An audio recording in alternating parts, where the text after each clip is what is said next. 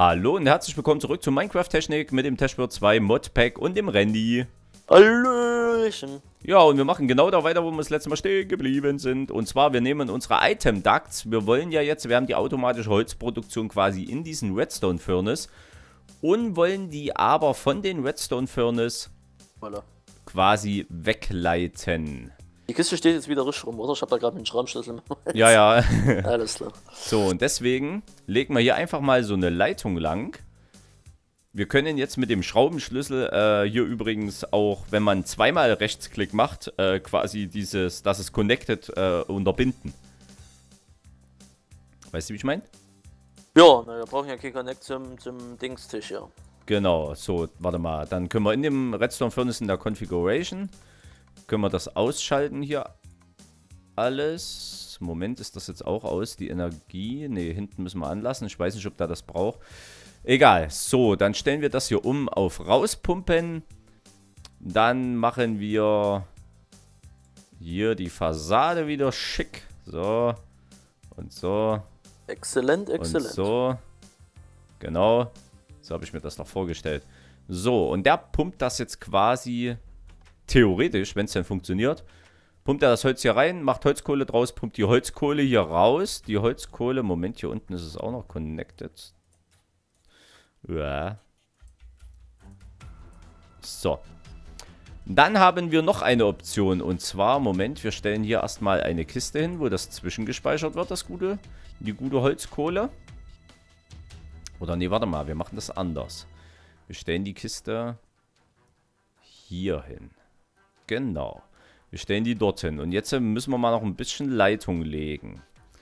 Und zwar legen wir die, habe ich mir so gedacht, hier unten drunter durch. Müssen wir mal ein bisschen Tunnelbohren machen jetzt quasi. Komme ich nicht mehr hoch. So, quasi hier so drunter. Lang. Dann müssten wir... Wenn ihr euch fragt, was ich gerade mache, wir haben beim letzten Mal das Thumbnail vergessen. Jetzt versuche ich gerade ein schönes Bild einzufangen. Weil wir haben ja immer solche, ja genau, Dortine guckt zum ersten Mal richtig wunderbar. Okay. Denn wir haben ja immer solche, wir haben ja immer solche schönen Thumbnails. Ja. Genau. So, und jetzt äh, müssten wir die Leitung, dieses Item Duct. Ha, ha, ha, ha. Okay, okay, okay. Da fällt mir gerade auf. Das ist auch irgendwie nicht schön. Was? Das müsste hier von... Moment, die, der Wasseranschluss, der müsste von der Seite kommen. Das wäre schön, ja.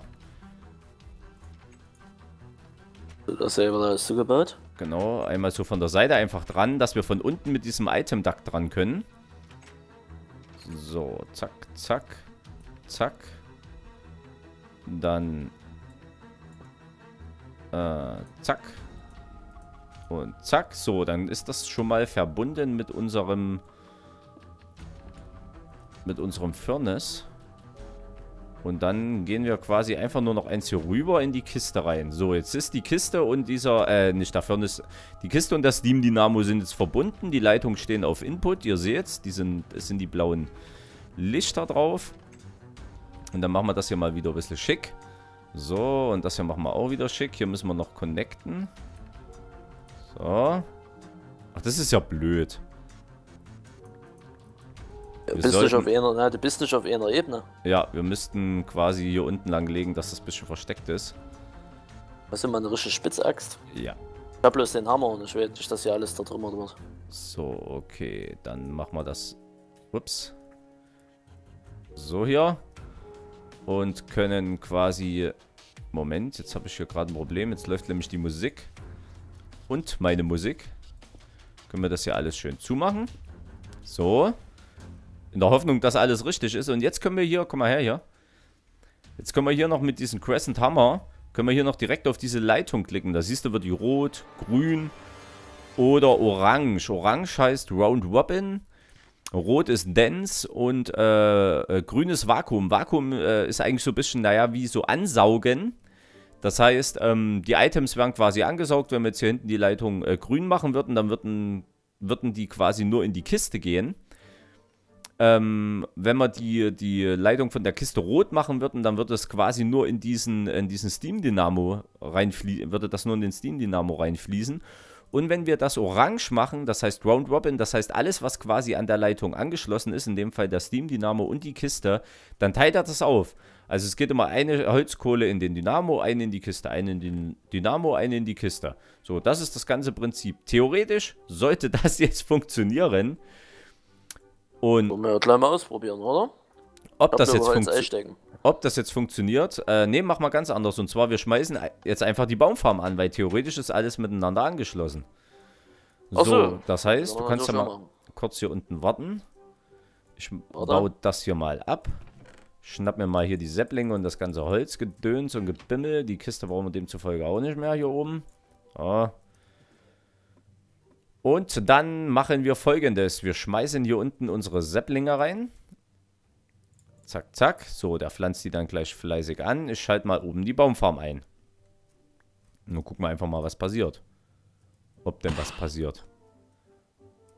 Ist der jetzt Ja, erstmal muss es anpflanzen. So, jetzt er pflanzt er schon ein bisschen an. Also, ne, ich bin immer gespannt, ob es hier unten So, da wir es aus. Das heißt theoretisch, Moment haben wir Energie. Energie haben wir.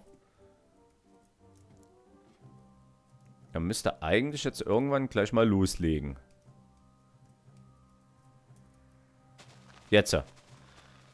Okay, und jetzt schauen wir mal, ob hier alles richtig läuft. Jetzt kommt nämlich durch diese Pipe, kommen hier Saplings, kommt Rubberwood, äh, kommt Rubber. Äh, das Rubber geht gleich in die Kiste. Die Saplings sollten eigentlich in diesen äh, Blender gehen und das Wood sollte rüber in den Furnace gehen. So, hier kommen schon mal die ersten Saplinge an. Mal gucken, wo die langlaufen. Also die Cobblestone Transportline war jetzt aber der langsamste, ne?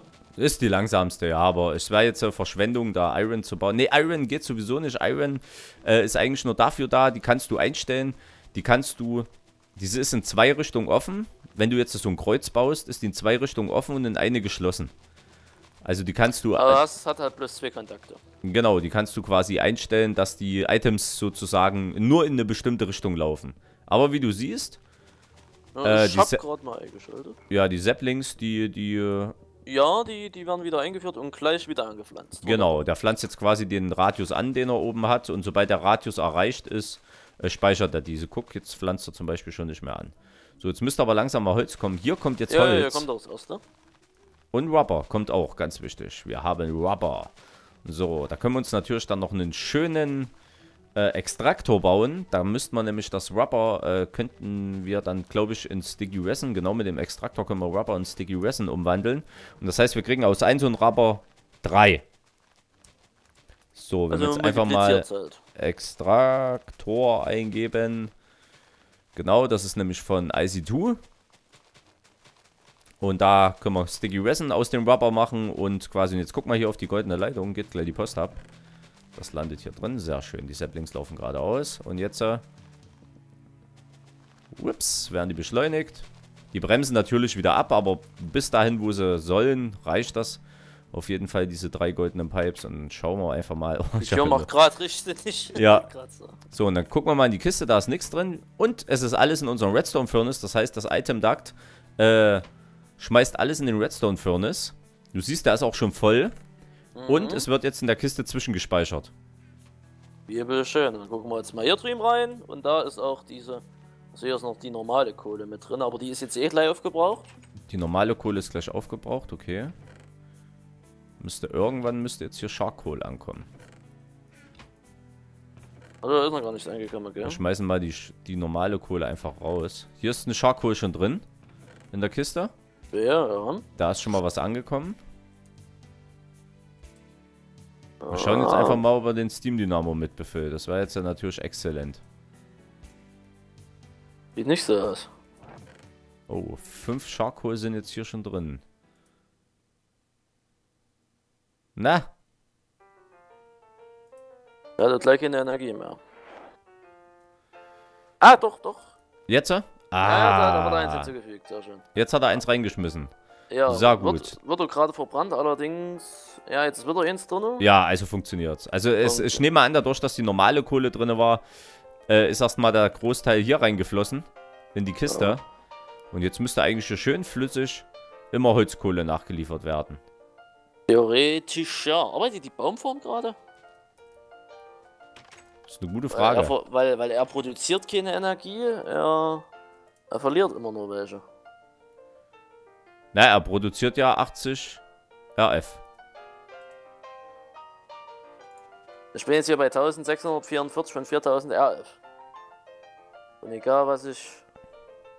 Ja, wenig, oder? Tue ich das gerade? Äh, was meinst du jetzt? Diese 1564? Ja, ne, normal. Ne, wenn wir hier Kohle rein. Ah, jetzt. Äh, alles klar. Jetzt geht's Jetzt, scharf. lä jetzt lädt er sich wieder auf. Genau, weil das Problem ist, er hat ja jetzt Energie verbraucht, die Baumfarm. Ah, Und die ist wahrscheinlich jetzt erstmal, ja, die ist jetzt erstmal wieder aufgefüllt. Und jetzt kann er quasi seinen internen Storage erstmal wieder nach oben. also, ne, ich hatte jetzt die Befürchtung, dass die Kohle zu schwach dafür ist, deswegen. Nee, das nicht. Aber du siehst, äh, diese Power Output, der fährt jetzt nach unten langsam. Mhm. Das heißt, außer der Redstone Furnace, der verbraucht natürlich nicht zu viel, der verbraucht gerade mal 20 RF. Das ist ja nur ein Viertel von dem, was er produziert. Und die Baumfarm müssen wir mal schauen, was die verbraucht. Läuft die gerade? Also hier kommt auf jeden Fall reichlich Holz. Okay, hier oben ist nichts neu gewachsen. Das könnte das Problem sein, weil... Ich denke, das Problem liegt hier in diesem Fertilizer, genau, weil der hat jetzt kein, äh, kein Fertilizer quasi. Also Fertilizer ist ja quasi dieser Dünger, Mhm. Der die Bäume sofort wachsen lässt. Und wenn der Dünger eben nicht am Start ist, dann wachsen die halt in normaler Geschwindigkeit. Wir könnten natürlich jetzt noch ein bisschen Fertilizer herstellen, aber... Ach, da kommt das tun wir auch. Ich wollte gerade sagen. Also hätten wir jetzt eigentlich schon außen rumgehen können, ne? Ja, ich muss ja hier, brauche ja noch ein bisschen was für Fertilizer. Und zwar brauchen wir einen Stack Sand. Äh, Wir haben keinen Sand. doch, aber ich habe hier die Taschen voll. Das schmeiße ich jetzt erstmal alles wieder hier rein. Das, das kann auch hier rein. So, das kann hier rein. Und Sand. Und wir brauchen noch Appetite. Davon haben wir leider nicht so viel. Jetzt muss ich mal schauen, ob das jetzt so rum richtig war.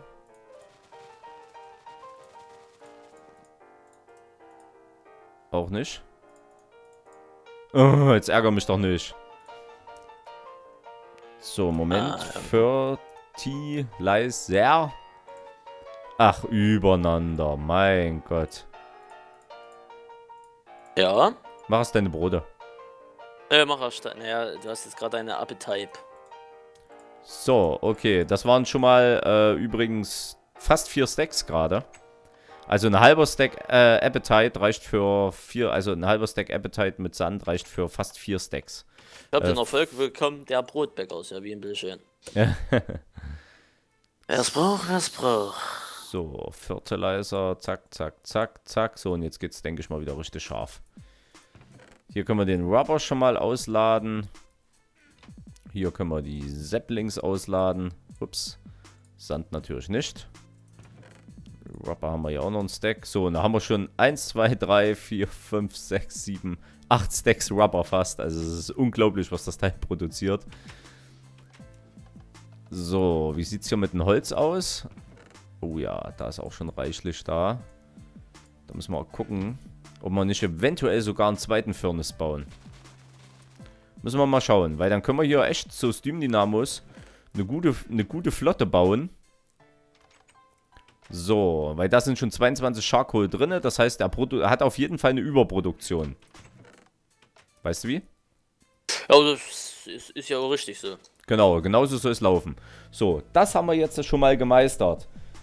Was wollen wir als nächstes machen? Und zwar würde ich sehr, sehr gerne jetzt eine Energy Cell noch bauen. Äh, gibst du einfach mal Energie ein. Energie mit Y hinten und dann Leerzeichen Cell. C-E-L-L. Energy. Schreibe ich trotzdem falsch. E-N. Genau. E.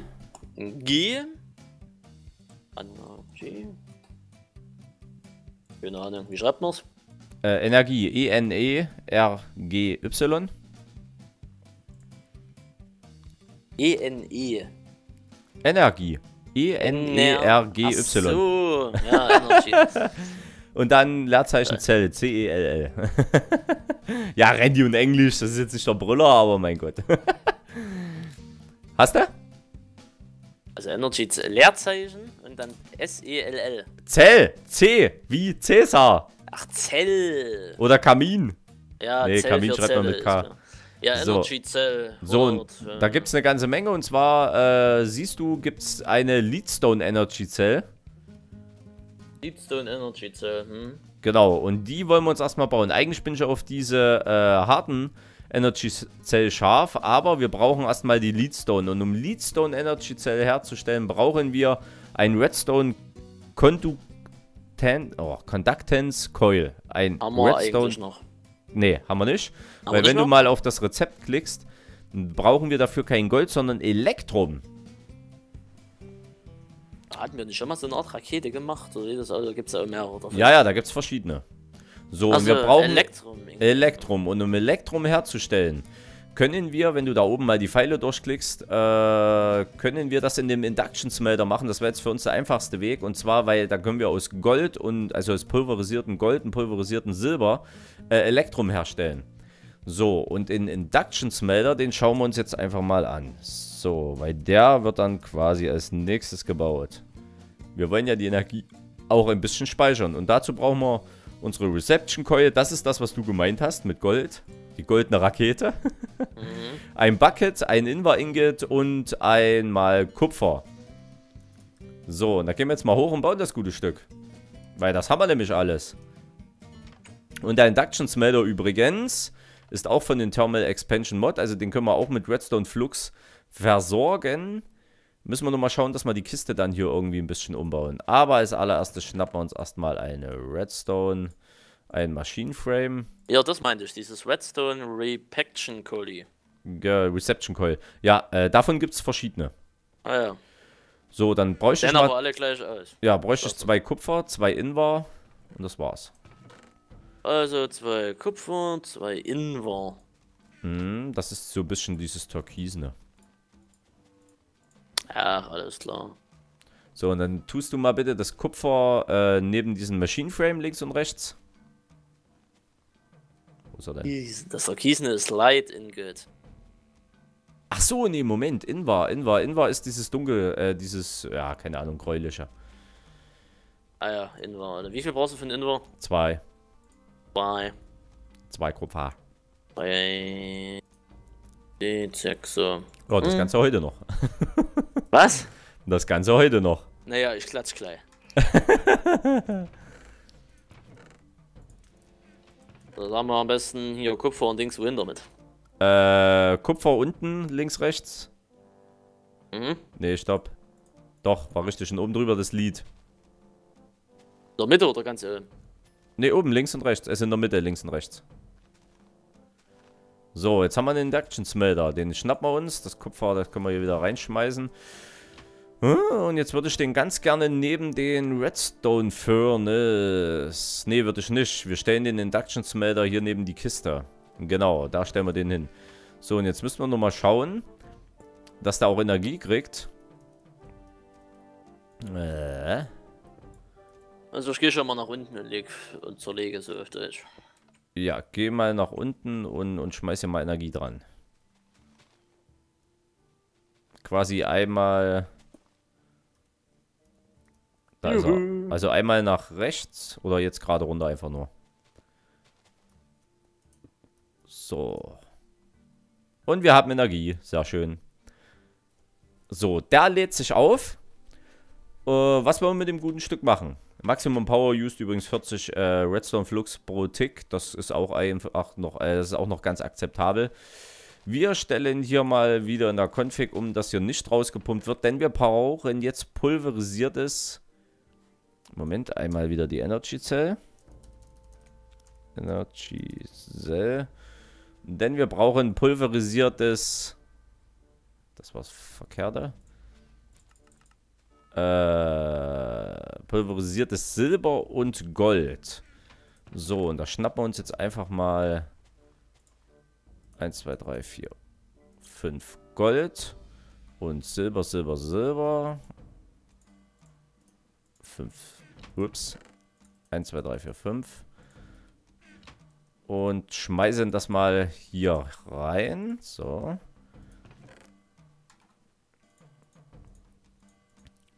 Zack, zack, zack. Zack. So, und dann, du siehst ja hier äh, in dem Pulverizer, der pulverisiert das jetzt schön. Oh, zack, jetzt kommt das Gold nach. Und macht daraus halt Goldstaub, ja. Genau, macht er das draus. Aber normalerweise geht der Dust ja hier rüber in unseren Redstone Furnace und wird dann quasi zu Barren verarbeitet. Das Ja. habe ich jetzt mal ausgeschaltet, weil wir brauchen ja den Dust. Sonst macht er ja uns nur wieder Barren draus. Das ist ja das Problem. So, ich habe beides. Und dann schmeißen wir links hier in diesen Induction Smelter das Gold. Hm? Und rechts schmeißen wir das Silber. Und siehe da, wir kriegen Elektrum. Ah, alles klar. Da. Gell? So wird ein Schuh draus. Da wird ein Schuh draußen und dann kommen wir zu Papa. So, wir haben 10 Elektrum. Ich schnapp mir mal ein bisschen Redstone. Und wir brauchen jetzt erstmal, äh, ich brauche Redstone mal haben wir irgendwie auch noch, oder? vier Glas, ja, vier Glas und äh, Lead. Das war jetzt das Türkisne. Ähm, das Türkisen. Di, di, di, di. Vier Glas. Wie viel Oder Lied? mal. Vierer. Ja. Warte mal, Glas, wo war denn jetzt das scheißen Dreck Glas schon wieder? Ich such's ja auch gerade. Ich hab vier Stück. Was von dem Lied? Von dem Glas. Das Lied bringst Oh. mal bitte noch mit. Ah, ja, alles klar. So. Und da was fehlt, tust jetzt bitte das Lied rein. Ne, stopp. Äh. So. So, jetzt. So, jetzt haben wir hier einen Leadstone Energy Cell Frame. Also quasi einen Frame haben wir jetzt erstmal nur. Quasi die Hülle. So, jetzt brauchen wir Mhm. noch drei Kupfer und diese Redstone Conduction Coil. Mit diesem Elektrum quasi. Hast du das Elektrum? Das Elektrum habe ich die 10 Stück, ja. Dann schmeiß das mal in die Mitte. Eins. So, wunderbar. Haben wir das schon mal. Und jetzt brauche ich noch äh, Kupfer. Dreimal. Und vier Invar. Die vier Invar hole ich. Eins, zwei, drei, vier. So. War das jetzt so? Moment, muss ich selber nochmal schauen. Ja, das war richtig. So, und jetzt haben wir quasi die Leadstone Energy Cell. Wenn du jetzt mal Shift gedrückt hältst, dann siehst du Charge. Der kann 400k RF speichern, das heißt 400.000 ähm, Redstone Flux. Und Send und Revive steht da 8080 und Signal Enable Low, also 8080. Der kann maximal 80 Redstone Flux rausschicken. Gell? Okay. Das Das heißt- heißt 400.000 speichern. 400.000 speichern. Wenn er jetzt aber nur für 80 rausschicken kann, wir haben jetzt eine Maschine, die mehr wie 80 braucht oder mehrere dranhängen, dann ist das Problem, äh, wir können die nur mit 80 Redstone Flux äh, bedienen, weil mehr kommt aus der Zelle nicht raus. So, und deswegen schmeißen wir hier rum nochmal äh, Lead und dann kriegen wir diese äh, Hardened Energy Zellen. Wenn du da drauf klickst, Send Revive, auch nur 80. Was ist das für ein Ja. Scheiß? Warte mal. Hardened. Ach so, die Energy Cell. Ah, die könnte 2000, 2000, verstehe. Nee. Wir haben doch jetzt. äh, Hardened. Warte mal. Ich... Hä? Bei, äh, klick mal oben bei Hardened Energy Cell. Mach da mal Shift-Klick. In dem, Oder? in dem, N ja. in dem Da NEI. steht 400, 400, ne? ja. Und wir haben eine harten Energy Zellen, da steht nur 80, 80. Na, mal gucken, vielleicht ist das auch noch ein bisschen buggy. Wir gehen erstmal runter damit. Mal gucken, wenn wir sie aufgebaut haben, wie es dann Das aussieht. Wie sieht unsere Aber ich- Fahrtlänge aus? Äh, unsere Partlänge sieht schon bei vi- Ü- Ü4 drüber. Okay, dann stellen wir die nur schnell auf und dann ist hat er. So. Das ist jetzt quasi unsere Zelle. Du siehst, die lädt sich auf. 80, Oder auch 80 nicht mehr? trotzdem. Ne, irgendwie nicht. Doch, wir können den Maximal Output hochnehmen. Ah, 400. Alles klar, alles klar. So, den Maximal Output nehmen wir aber runter auf 50. Den Maximal Input nehmen wir auf Max. Und den Output nehmen wir auf 50 runter. Das heißt, die sollen nur maximal 50 AF erstmal rausschicken. Das heißt jetzt auch, äh, dadurch läuft die Baumfarm auch etwas langsamer. Das ist das Schöne an der Sache. So, und dann haben wir hier drüben noch die Konfiguration. Und das erkennt man leider ein bisschen schlecht. Und zwar das an, rechts aus, links aus und oben an. Also unten wird eingespeist. Genau, oben wird, äh, unten wird eingespeist. Oben ist jetzt blau. Ja, das heißt, nach oben gibt sie aus. Und nach hinten dürfte sie jetzt auch ausgeben. Ja, okay, das passt. Na da. So, und Dann theoretisch ja müsste das gute Stück jetzt aber befüllt werden. Wieso wird die nicht befüllt? Ach so, okay, der lädt gerade noch auf. Sein internen Speicher. Mal gucken, wann der voll ist. Da müsste bei 40.000 voll sein. Ähm, 5, 6, na komm. 40.000. Wieso lädt sich denn diese Kackzelle nicht auf? Wer weiß, wer weiß. Dieses Problemchen müssen wir aber beim nächsten Part beheben, weil sonst, sonst wird es zu lang.